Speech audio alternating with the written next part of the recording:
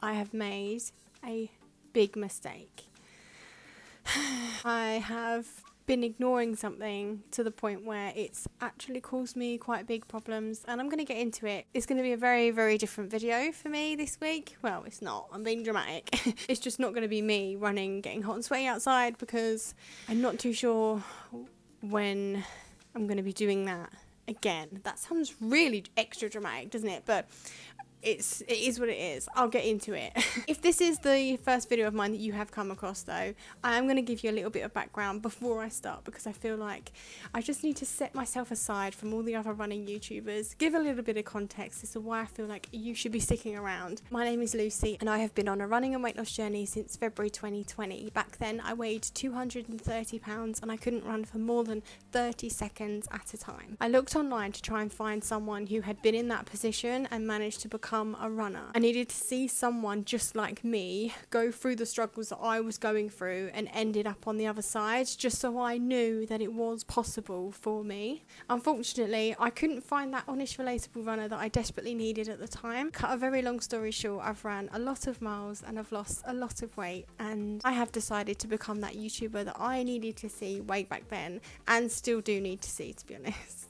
Right, let's get into my mistakes because mistakes have been made. so, I have a general rule when it comes to trainers. I have Hoka Clifton 9s and I have been absolutely in love with them to the point where I very nearly repurchased them about a month or so back. When I got my original pair, it was a long time ago. I normally have my trainers for roughly four months or 400 miles. That's the loose rule. Now, I don't always stick to that, as you can tell, because I've had my Hoka Clifton 9s now for way more than four months potentially even double that. Now, I was getting on really well, absolutely loving them, enjoying every run that I did in them, really comfortable. But obviously, as time goes on, the trainers they don't last.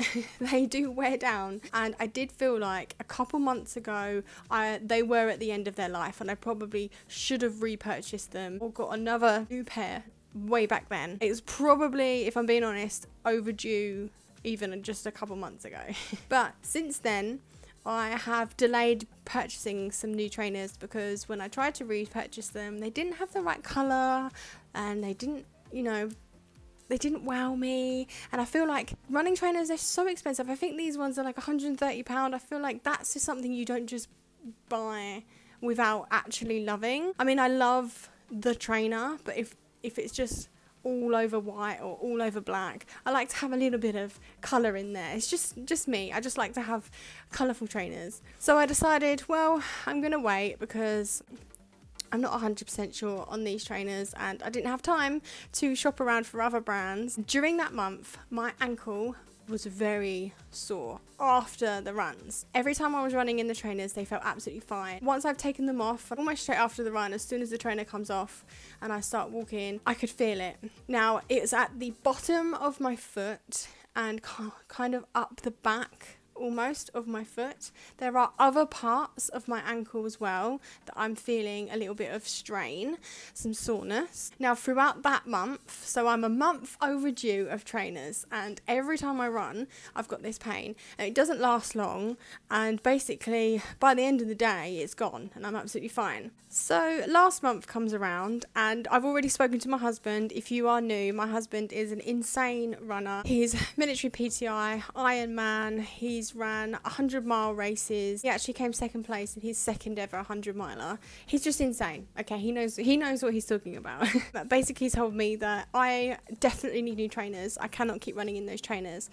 And I, of course, didn't listen because I was like, well, I'm going to get new ones, so I'll just keep using these until I get new ones. But in the last month, I have, I've even asked you guys, you know, recommendations because it's like, you know, I really need to start looking at getting some trainers now. It's getting bad. In the last month, I'm finishing my runs, taking my trainers off. They've been hurting. They've been hurting a little bit more, and the pain has been lasting a long time. Yesterday, so Monday, Monday the 10th of June, because I'm filming this on the 11th, I took Storm for a two mile run and I wore my Nike trainers. These are the ones that I had on. They are tried and trusted. I really like them. I like to pick up the pace in these ones. These aren't really an easy pace run type of trainer, but I put those on because I wanted to pick the pace up a little bit, which I did, and I felt fantastic. I had a really good run. I didn't vlog any of it, but yeah, I had a really good run considering it was at that pace. I only was out the house for under 20 minutes running with the dog, and when I got back in different trainers, I was expecting for my foot not to hurt,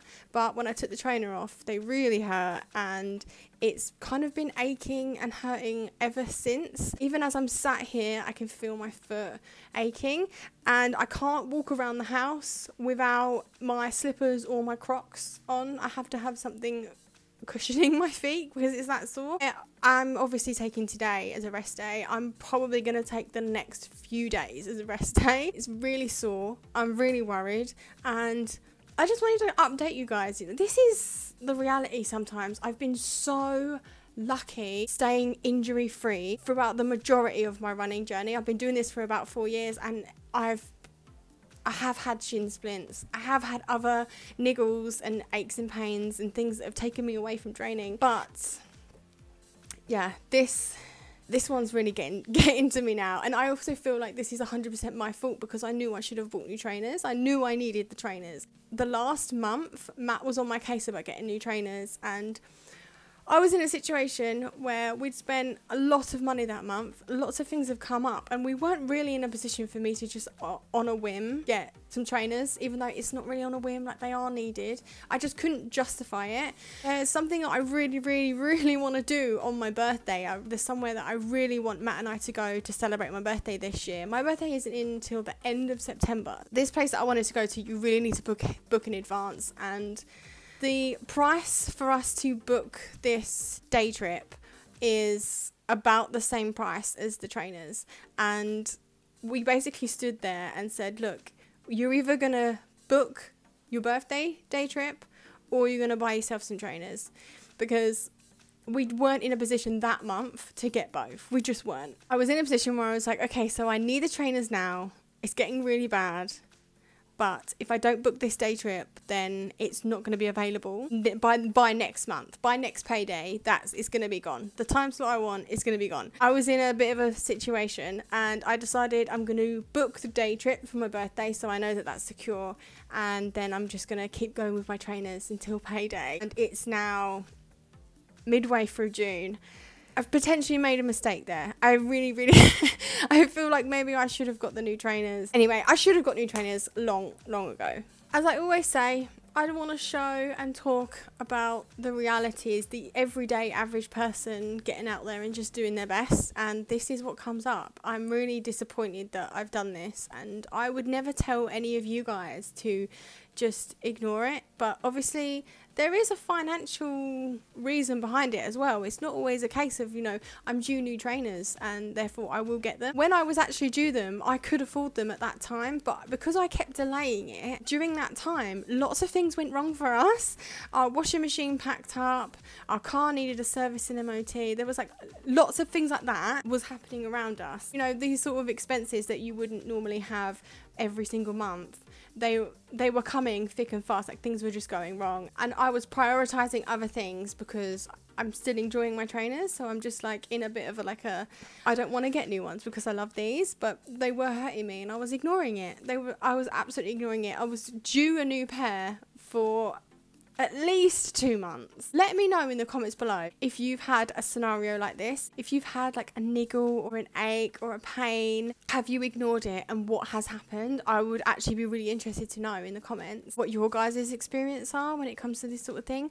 I never ignore aches and pains, usually, and I would never obviously tell you guys to at all. I'm very surprised at how laid back I've been there. I'm very disappointed in myself. I'll be doing some extra stretching and things, and hopefully, everything's going to be fine. So, that's just my update. And I'm sorry it's not like a normal video, but this is my everyday, and this is what happens. And this is what's happened, so I'm not going to pretend I'm out here running, smashing distances, and doing incredible things because I'm not. Because this is the real life, and I've hurt myself, and it's my fault. So I also just want to take this moment, if you've made it to the end of this video, to say a thank you for joining me in all of these videos. You guys are such a blessing in my life.